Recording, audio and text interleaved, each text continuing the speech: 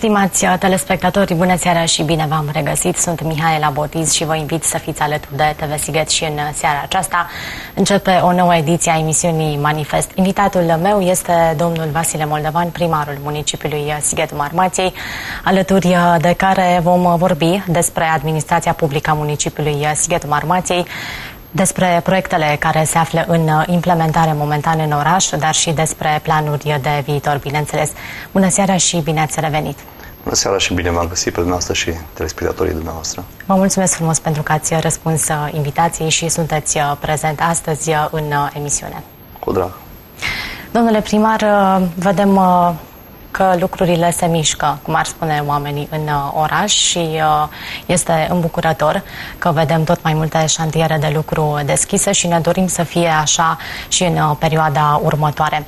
Aș dori să încep cu modernizarea sistemului de iluminat public din Sighetul Marmației. Recent am văzut că ați anunțat că echipamentele deja au sosit. Când o să înceapă efectiv lucrările? Da, așa cum am spus și la alte emisiuni și cum cunoaștem realitatea în teren, uh, problemele sunt multe în schitul armației, nevoile sunt mari, nu le putem face toate deodată, important este să începem de undeva. Uh, revenind la proiectul cu iluminatul public, este un proiect uh, finanțat de către Fondul de Mediu, Administrația Fondului pentru Mediu, în valoare totală de 1.400.000 de lei. 400.000 de lei uh, sunt uh, sumă, este o sumă alocată din bugetul local, este cofinanțare în partea noastră. Un milion de lei uh, vor fi primi, vor primi prin acest program. Nu vizează tot, tot, nu vizează tot municipiul, dar este un început. Am pregătit deja și un al doilea proiect în acest an și în exercițiul financiar următor, sumele alocate cu aceste destinații pentru municipiu este mult mai mare, până la 5 milioane de lei. Am, în uh, principiu vorbim despre un număr de peste 20 de străzi care Da, deci în jur de 20 de străzi, uh, sunt peste 600 de corpuri de iluminat, sunt corpuri de iluminat uh, moderne, de ultimă generație, cu sistem de telegestiune, ceea ce înseamnă că fiecare componentă, fiecare, fiecare LED va fi conectată la o rețea, la un sistem de telegestiune care va fi monitorizat de către serviciul public, de eliminat public, pe care îl avem uh, în cadrul urbana și care desfășoară activitatea, așa cum am spus, în uh, cadrul primăriei municipiului Sighet. Dar oricum, uh, garanția unui astfel de cod iluminat este de 10 ani, din câte am discutat și cu reprezentanții firmei, am avut întâlniri recent și am dat ordine începerea lucrărilor. Au sosit o parte din corpuri, vor fi montate corpuri noi, inclusiv sistemul de prindere va fi schimbat. Deci uh, este un început, uh, mai ales că noi în Sighet avem un sistem de iluminat deficitar, uh, vorbim de peste 30-40 de ani de când avem acest sistem. Costurile la facturi sunt destul de ridicate, luminozitatea nu este cea pe care ne-o dorim, nu este cea mai, cea mai bună, iar prin acest sistem este un bun început pentru viitor Uh, viitor, viitoare proiecte pe care le vom scrie pe acest, uh, pe acest segment. Practic, uh, nu vorbim doar despre modernizarea sistemului de iluminat public, ci și despre o economisire Categoric, odată da. cu implementarea acestui sistem modern. Categoric, vorbim și de economisire și mai ales în condițiile în care vedem cum cresc prețurile la energie electrică la, și la celelalte uh, utilități. Este chiar binevenit acest proiect. Uh, au sosit corpurile, undeva în cursul acestei săptămâni se vor și apuca de treabă firma care a câștigat uh, licitația. Nu a fost uh, o procedură, au urmat procedurile legale, nu a fost o procedură foarte simplă, au fost și contestații. Practic, șase luni putem spune că a durat această procedură pentru implementarea proiectului, dar până la urmă avem o firmă câștigătoare și care sper să își facă treaba așa cum, cum trebuie.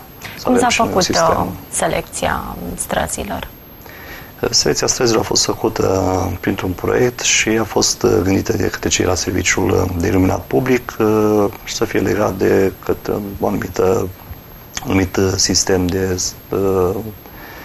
alimentare, să zic, a energiei electrice, pentru că, vă dați seama, fiecare stradă este legată la un anumit are un anumit sector, deci poate nu este cuprins să, să zic, fiecare stradă are un sistem propriu de iluminat, deci se leagă mai multe străzi împreună și acesta așa a fost gândit uh, proiectul.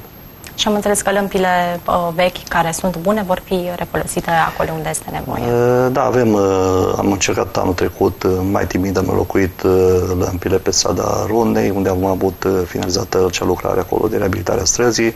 În zona centrală am uh, achiziționat din bugetul propriu lămpi uh, noi pe LED, dar fără sistemul acesta de telegestiune și aceste LED-uri vor fi înlocuite în zona centrală și unde, câteva străzi unde avem uh, montate aceste LED-uri și vor, uh, vor fi folosite până la următorul proiect uh, pe străzile care vor fi, au nevoie de acest, de acest, de acest sistem.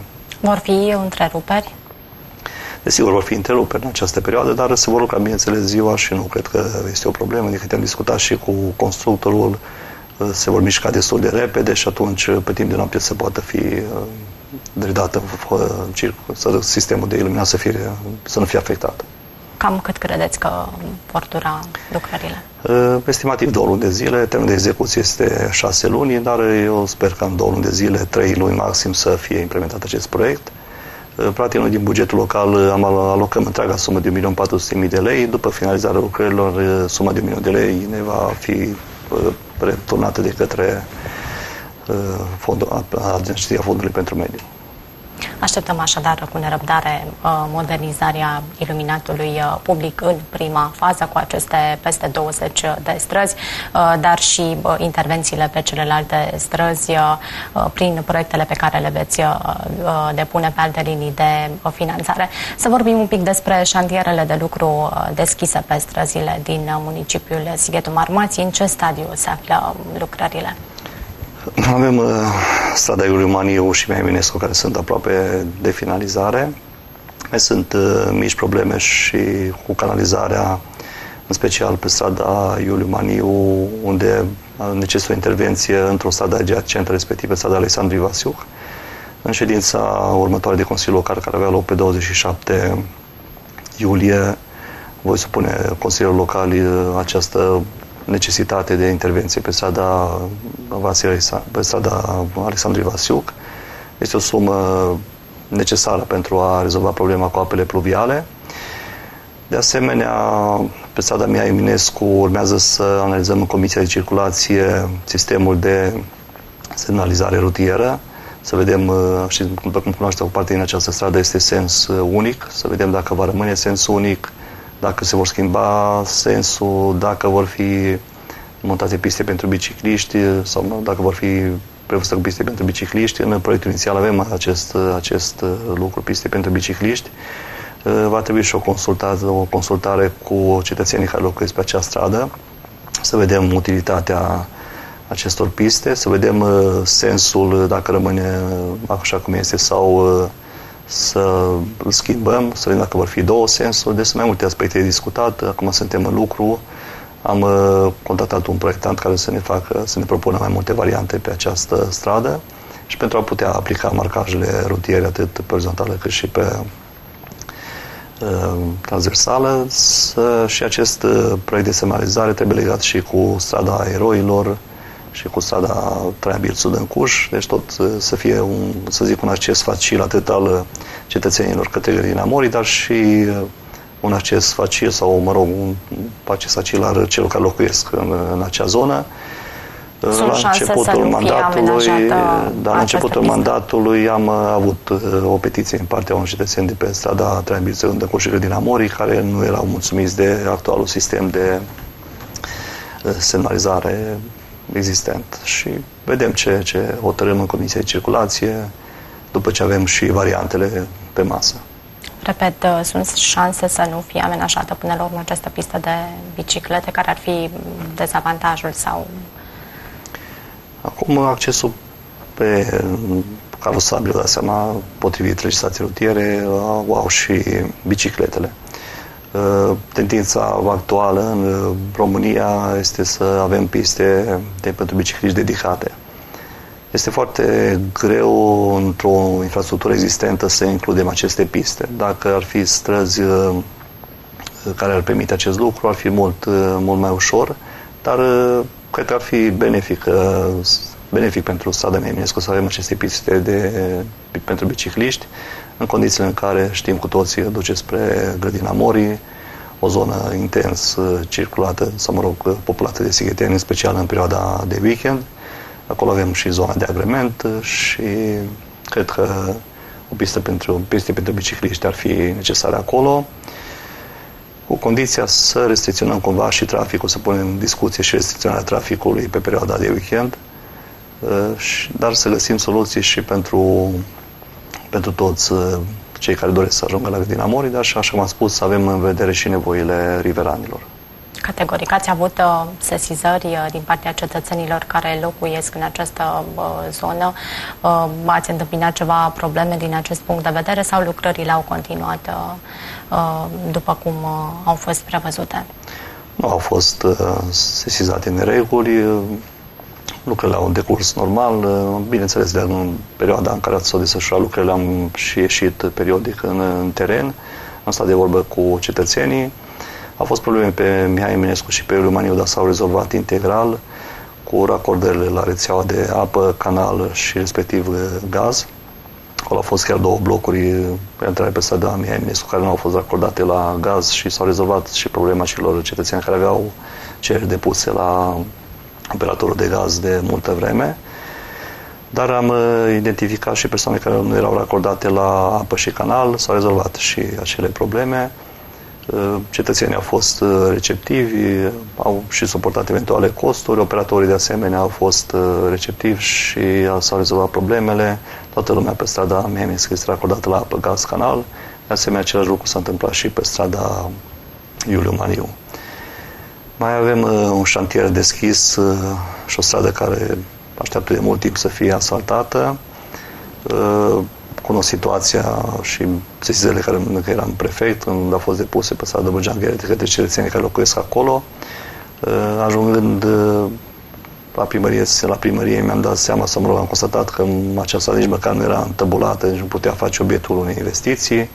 S-au făcut demersuri, s-au făcut uh, studii, proiect și mă bucur că în sfârșit au început lucrările și pe acea stradă legată de următoarele străzi, uh, Vasile Ilea, Titu Merescu și acolo avem uh, finalizat proiectul tehnic și studiul de fezabilitate. În uh, ședința următoare de Consiliul Local vom intra în fața, vom veni în fața Consiliului Local cu aprobarea acestor, acestor proiecte. Sperăm să, dacă reușim în cursul acestui an, să punem lucrurile și acolo. Bineînțeles, legate și de speranțele care le avem și toți din administrație în proiectul, în programul Angel Salini. Dar revenind la strada Dobrogeanu Gherea, și acolo prin deplasare în teren am constatat anumite nereguli. Din păcate, proiectanții nu sunt totdeauna sau nu execută lucrurile așa cum ne-am dorit. Sunt multe lucruri care se constată la fața locului. Avem probleme cu deversarea apelor pluviale pe parte în stradă, dar s-au găsit soluții în teren. Am apelat și la un proprietar, un proprietar privat care a pus la dispoziție terenul pentru a putea uh, face acolo o lucrare de a diversa apele pluviale în emisar, în Reuliza.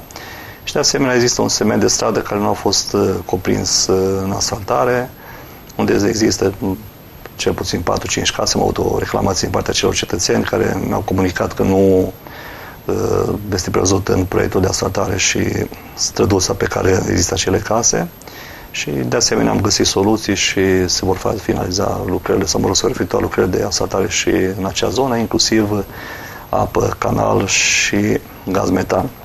Din păcate acolo am identificat un număr de trei uh, familii care nu doresc să se racordeze la gazul metan. Uh, le-am comunicat faptul că în termen de 5 ani de zile nu vor putea să efectueze acest lucru și mi-au spus că nu au nici posibilități și nici prezente, nici viitoare de a se racorda la sistemul de gaz. Deci avem trei cazuri care nu sunt rezolvate, restul toată lumea are apă, canal. Am identificat la fața locului uh, cetățeni care deverseau pur și simplu în uh, stradă anumite, anumite, să zic, uh, reziduri. Nu este tocmai să zic, cetățen uman sau ceea ce fac, ceea ce au zis nu este corect, dar au înțeles mesajul și să acorda și dumnealor la la apă și canal. Deci, Sunt uh, multe probleme în teren care da. Uh, apar pe parcurs și care da. trebuie uh, Reclamații au fost legate și de lățimea trotuarelor pe o anumită parte, pe partea stângă, cum mergem către, către Râuriza, către capătul străzii, dar le-am explicat că proiectantul a gândit și a fost agreat de către cei din la Serviciul Tehnic al Primăriei, proiectantul a gândit acolo o pistă pentru bicicliști, dar mergând la pas chiar în cursul acestei săptămâni, pe stradă am constatat existența doi stâlpi care împiedică, să zic, acea pistă prevăzută. Nu știu care a fost motivul pentru care nu s-au gândit la acest aspect, dar am discutat și acești stâlpi vor fi mutați pentru a putea avea continuitate această pistă pentru Sunt bicicliști. Sunt încântați oamenii de aceste piste? Pentru că odată amenajată o pistă de uh, biciclete, vine cu un set de reguli care trebuie respectate. Deci, sincer, cei din uh, pe strada respectivă, care, mă rog, care mi-am găsit acasă la momentul efectuării vizitei în teren, unii au avut păreri pozitive, alții păreri negative, alții erau sceptici că cineva va circula pe acea pistă, că majoritatea sunt cu mașini și nu prea folosesc bicicleta, dar toată existentă pista, poate încurajăm și noi accesul pe, și transport, plimbarea cu bicicleta. Cu atât mai mult cu acest, cât acest proiect este gândit și pe viitor, ne gândim la o extindere a rețelei stradale către zona Fux, unde pregătim baza sportivă, bazinul de not și creșa. Acolo va fi o zonă care se va dezvolta, va fi și o bază sportivă. Și am analizat și posibilitatea de extindere și atunci pista de biciclete pe viitor va duce către, către acea zonă va merge pe strada Corbului, care de asemenea va intra, va avea este vederile noastre pentru, pentru reabilitare. Și tot dacă reușim acest lucru, vă dați seama că ar fi un lucru benefic pentru cei care doresc să ajungă cu bicicleta la acea bază sportivă, care sper este în faza avansată la Compania Națională de Investiții pentru aprobare. Avem toate avizele obținute, avem tot tot ce ni s-a solicitat de către Compania Națională de Investiții, așteptăm doar finanțarea. Tot acolo se va construi și o creșă, de asemenea finanțată da. prin CNI.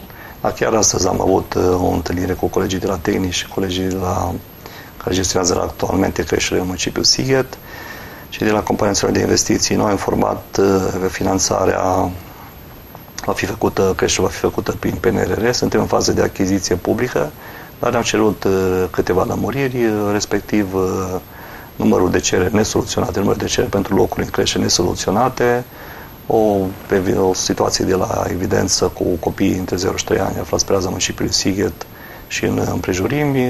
Suntem în curs de pregătire acestor documente, acestor societăți, să le putem trimite la Compania Națională de Investiții și să reușim să implementăm și acel proiect. Deci, fiind în fază de achiziții publice, eu cred că lucrurile se vor mișca mai repede acolo. De asemenea, ca o veste, pot să spun bună sau în sfârșit o veste bună în acea zonă pentru cei care așteaptă repartiția locuințelor sociale și locuințelor ANL. În cursul acestei săptămâni trecute am dat ordine începerea lucrărilor în, pentru sistemul de uh, infrastructură rutieră și iluminat public. Deci, practic, amenajarea zonei amenajarea care a rămas cumva da, restantă de ani Așa este, cu locuri de parcare, cu tot ce este nevoie pentru a putea fi dată în uh, folosință nu puteam să atribuim acele locuințe atâta vreme când nu aveam uh, o infrastructură rutieră, nu aveam iluminat public. Uh, da, ne-am cam chinuit, să zic așa puțin, dar uh, până la urmă lucrurile văd că s-au rezolvat, au fost probleme și cu întăbulările, au fost întăbulări greșite. Acolo mai avem în lucru și avem o solicitare la ANL, la Agenția Națională de Locuințe, pentru încă două blocuri ANL, în cursul acestui an nu am primit finanțare pentru aceste blocuri, dar uh, avem de perspectivă să obținem finanțare pentru cele două blocuri ANL. Unul dintre motivele pentru care mi s-a respins uh, solicitarea a fost faptul că nu, că nu am ocupat uh, blocul care a fost construit. Vă dați seama, sunt solicitări multe în municipiul nostru și nu mai sunt în țară așa multe solicitări. O problemă pe care am discutat-o la Agenția Națională de Locuințe cu din domnul director a fost legată de vânzarea, posibilitatea de vânzare acestor locuințe. Uh, în Sighetul Armației nu s-au, foarte puține locuințe s-au vândut uh, după 5 ani, chiriașii au posibilitatea să cumpere, dar uh, piedica este legată de prețul de achiziție acestor locuințe, care este stabilită la nivel este național, preț un preț standard. Vă seama, același preț este în Sighet Armații, în Cluj, în București, în Deva, în toate localitățile mai mari sau mai mici. La seama, în Cluj-Napoca, dacă ne raportăm la prețurile de pe piața Sigur imobiliară. să fie foarte mare. Undeva, deci prețurile variază undeva între 600 și 700 euro metru pătrat. Pentru un chiriaș janele din Sighet, o astfel de sumă este destul de mare și atunci asta este motiv pentru care nu s-a putut uh, vinde locuințele anele în Sighet. Am constatat eu personal lucrul acesta. Este o realitate din teren și o realitate pe care am discutat-o și cu chiriașii care și-au exprimat dorința de a cumpăra. Când au uh, aflat prețurile, vă dați seama, au făcut pas înapoi. Uh, și sper ca cei de la guvernare să revizuiască această hotărâre de guvern și să stabilească prețurile în funcție, funcție de, de piața, piața, piața imobiliară din zonă, din, în fiecare zonă. zonă. Când credeți că vor fi date în folosință aceste blocuri pe care le așteaptă da. de mulți ani? Deci dacă lucrurile merg bine, în toamna acestui an o să reușim să le, să le dăm în folosință, dar va trebui să mergem paralel cu reactualizarea sau reavizarea listelor? Uh, listelor, în primul rând, pentru că reavizarea se face anual, dar uh, sunt expirate șirurile la centralele termice, trebuie făcută verificarea la apă canal, uh, deci trebuie făcute și verificările acestea la utilități publice, mai exact. Și Doamne ajută ca în sfârșitul anului să putem să dăm în folosință aceste locuințe. Dacă tot ne aflăm cumva în zona aceea, să ne spuneți la proiectele uh, care sunt făcute uh, de Compania Națională de uh, Investiții, care este uh, responsabilitatea uh, primăriei? Pentru că știm că, practic, uh, de toate se ocupă cumva uh, CNI, ceea ce poate fi câteodată un avantaj, dar câteodată un dezavantaj, pentru că nu te poți implica cumva uh, direct. Deci, în primul rând, obligativitatea administrației publice locale este de a pune la dispoziție terenul pe care urmează a fi efectuată investiția, să suporte cheltuielile de la acordare la utilități, și să suporte cheltuielile de infrastructură. Deci cam acestea ar fi obligații și, bineînțeles, drumuri multe la București, pentru că solicitările sunt multe, OAT-uri sunt multe în, în România, din discuțiile avute, probabil, nu știu, de 100 de ori bugetul României este acolo.